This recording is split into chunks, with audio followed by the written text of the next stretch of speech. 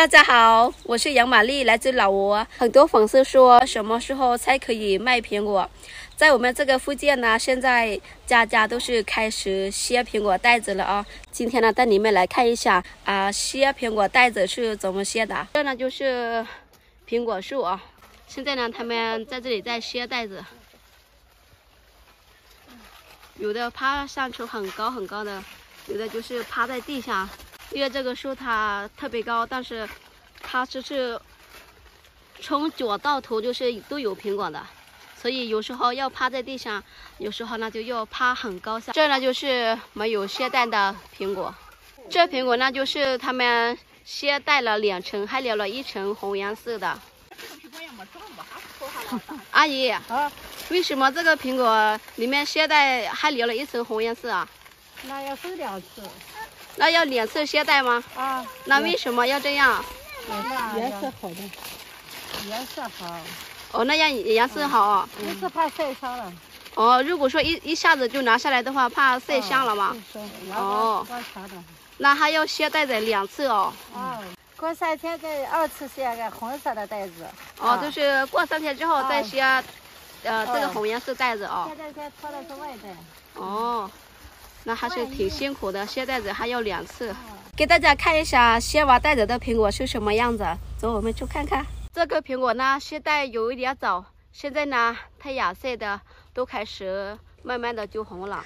太阳是从上往下晒，为什么苹果上边也会红？因为在地上呢铺了一层反光膜，然后太阳从上面照过来，上面也是能晒得到，所以苹果呢也是红的特别漂亮的。你看，你看这。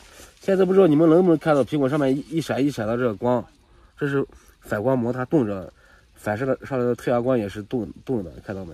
我们这个苹果呢是没有打蜡、没有催熟、没有催红的，这呢就是它自然红的啊。因为我们先完带了之后呢，就是靠太阳来晒它，叫它自己慢慢红的。老公，啊，啊，这个苹果要多久才能卖呀？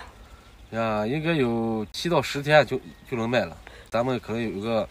五六天就开始可以准备了，可以可以上架了。哦，种苹果要卸袋子，要卸两次袋子，这么麻烦。为什么苹果要从小掏袋到大了之后要卖再卸袋子呀？因为第一个它防防虫，第二个嗯皮薄，第三个嗯防这农药。像这大了之后卸完袋子就不打药了，卸完袋子一般有个嗯十天到半个月就就直接卖了。哦，那些袋子就是它太阳再晒，它皮晒不厚，它也是皮薄，水分多。哦，如果你不套袋子，那个皮厚的很，吃起来。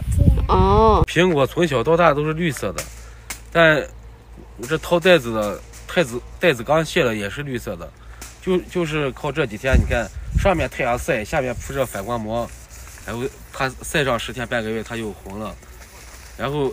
嗯，甜甜度也主要是靠这几天晒太阳上甜度了。哦，没有晒太阳之前没有现在甜吗？肯定没有现在甜。那现在可以吃吗？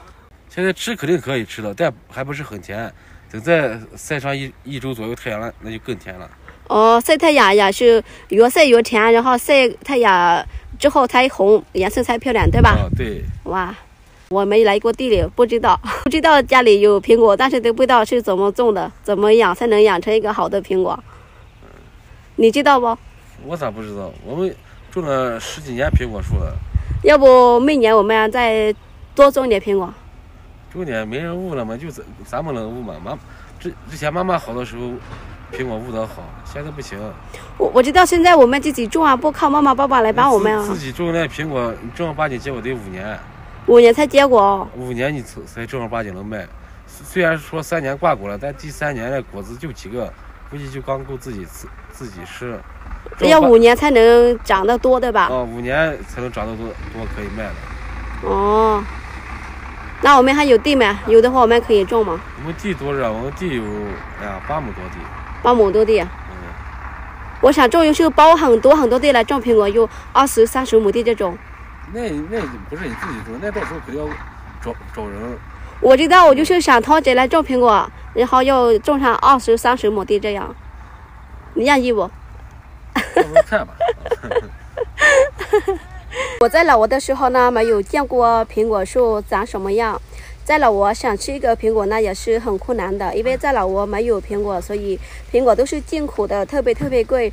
从小到大呢，一般的吃苹果就是一个苹果要分开给我们几个兄弟姐妹吃，所以从小到大一直吃苹果都吃不够的。从我家到陕西之后呢，来到我们这个婆家才能看到啊，苹果树原来长是这样的。种苹果呢也是特别不容易，想有一个好吃的果子，是要付出很多的劳动。去年买过我们家苹果的朋友呢，如果今年还想回购的话，随时可以关注我们的视频，说不定两天我们就上架了。因为现在苹果已经开始红了。今天的视频就分享到这了，谢谢大家观看视频，谢谢点赞和关注，下次我们再见啦，拜拜。